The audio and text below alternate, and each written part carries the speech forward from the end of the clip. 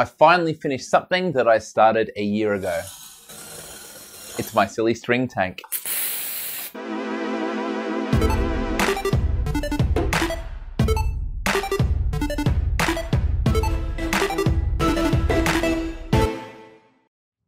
Sometimes you take on projects that are perhaps a little too ambitious. About a year ago, I did part one on this silly string tank. I still think it's a great idea, having a tank that's based on 3D printed parts, a cheap kit from Banggood, and then a bit of Arduino code that's remote control and can shoot this stuff, silly string. Pretty harmless, but still pretty fun in terms of shooting something from a tank.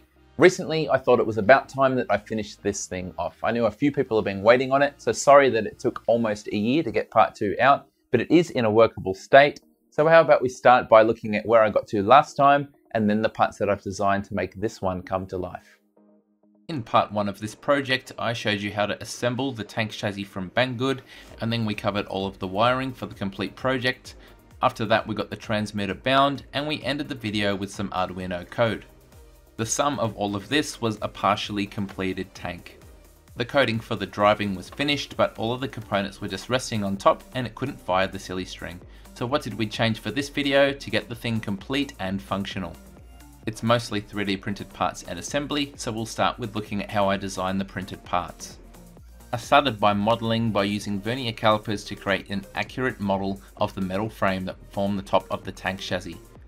I decided I want all of the electronics to be on the inside, so I did basic models of things like the Uno and the Matek. I also modelled up the battery, just a simple version to get the basic dimensions, and that gave me all of the details I needed to make this lower mount. As you can see, there's a bunch of holes here, and they line up with the various cutouts on the top. The battery is secured nicely there, but I still needed a way to access all of these things that was as convenient as possible. Therefore, I came up with this lower lid, you can see it hinges on one side and then it has a couple of screws that come into here and then they latch onto this hole so I have a quick release system, the whole lot swings open and I can access and alter the electronics very conveniently. The next thing I did was to model the can in the position where I wanted it to sit and then I either modeled or imported the two servos required to get the trigger on top of the can as well as the one to change the tilt. Little details like the horn were also important so I could get everything aligned. Once again, we have a tray piece, which bolts onto the tank chassis. Then I'm modeled on two parts that snap onto the can. The top one also holding the servo, so a one-sided horn can push down and activate the nozzle. There was a tiny bit of effort to model up a nose, and then a brace which was required for it to function properly. All of the parts are oriented ready for printing, and most of them just need high infill for strength but no support, but that's apart from two parts. The upper can holder needs support from the build platform only underneath this rim here, and you also need support from the build platform only to go underneath this nose, just to support the bolts for mounting right here. This part can have a much lower infill to save plastic as it's purely cosmetic. Now it's time for assembly, and it would have been too tedious to watch me put in all of these bolts, so I'll keep it brief. We have a tray for the battery up the top, and we need to place that and neatly wrap around the cabling as well as the charging port to suck it out of the way enough that it doesn't get caught but it's easy to access later on. Now the receiver for the RC is simply cable tied in and the switch I'm pretty happy with the mounting for that. No bolts required. As you slide the plastic lower mount into place there's a slot for it and when everything is bolted up it shouldn't be able to move. The Matek BEC needs a couple of bolts to go into its mounting boss and a couple of bolts also for the Uno underneath the motor driver shield. With all of this in place, you can attach the lower lid. As you can see on the right hand side here, it has two long M3 bolts that go through and that allows it to swivel and it should swivel quite freely.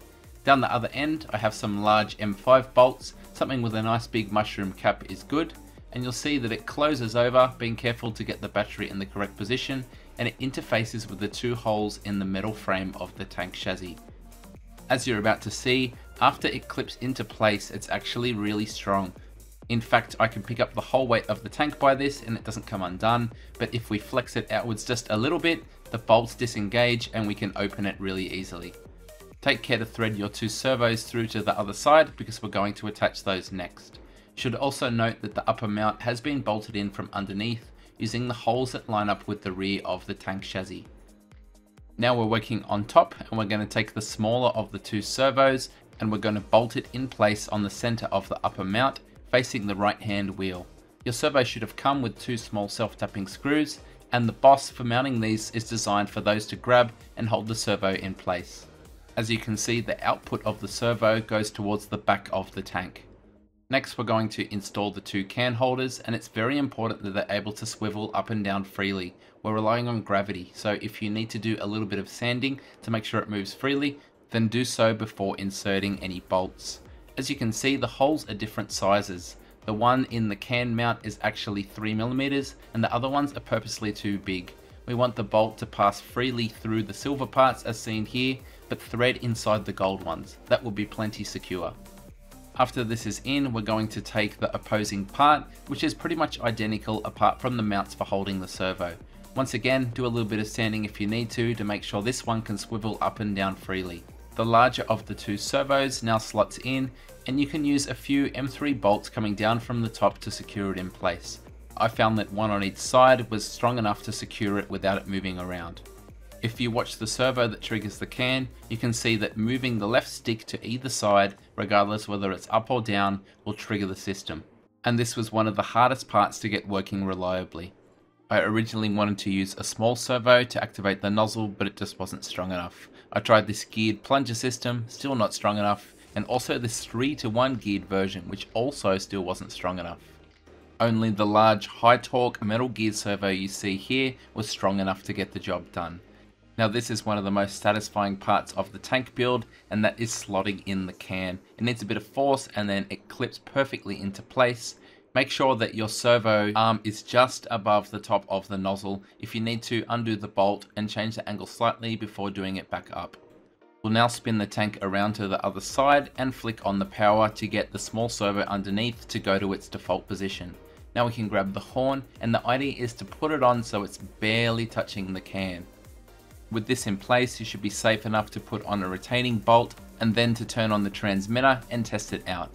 Let gravity pull it back down and then when you lift up the left stick back and forth, you should have just enough angle to get some good aiming on the tank. The last piece to go on is the nose. It's pretty much cosmetic, you can leave it at if you want, but if you're finding the center of gravity is off and the tank is tipping backwards, you can print it with higher infill to move the weight forward and correct that. The little servo was too weak, but this one's almost too strong. You can see here that it actually pushes the can out of the holder, and to combat that, I have this brace piece. I used one, but if you're having trouble, you can print out more than one of these, and it's designed to slide over the top and stop the whole thing from coming undone. There'll still be some flex, but it should work just fine. One more thing I should note that after assembling the tank there was a lot of nuts and bolts left over and that will see you through for the majority of this assembly. So I guess it's all together, so let's revisit the control scheme and see how it performs. The control scheme is pretty straightforward. The right hand stick is used for all of the tank movement. You can go up, down, left, right, it'll pivot on the spot, or if you use diagonals, it'll do combinations of those. It's fairly intuitive and easy to control. The left hand stick lifts the canister up and down to change your vertical aim and when I'm testing the trigger I like to do it inside a box to prevent mess and you can push it to the right or the left either side and it will function exactly the same way past a certain dead zone in the middle. Now this can is pretty much empty so let's head outdoors and test it properly. One thing to note is that this chassis is not exactly capable off-road, especially now that the center of gravity is near the rear. In terms of being mobile and shooting silly string however, it's right on the mark. Because it's a tank and it can turn on the spot, it's quite agile at taking aim, rotating around and then shooting quickly. Probably the main downside is that the silly string doesn't last that long. I also don't think the aerosol can likes being on its side, so it kind of loses a bit of pressure after a little while and misfires. One thing that is real is the cleanup required afterwards, so if you're looking to avoid this significant downside, the better option might be to take your tank and simply do a runner. It doesn't quite work as well as I would like. It does technically function, but it could do with some more polishing. Now, I'm not expecting many people to actually go out and follow my plans to make this thing, but if you think this would be a good project for you, down in the description you'll find links to everything you need to make one for yourself. I'm not sure how much more time I'm willing to invest in this, but if you think you have some good suggestions on how I can improve it, please leave them in the comments below. Thank you so much for watching, and until next time, happy overly complicated long-term projects. G'day, it's Michael again. If you like the video, then please click like. If you want to see more content like this in future, click subscribe and make sure you click on the bell to receive every notification. If you really want to support the channel and see exclusive content, become a patron. Visit my Patreon page. See you next time.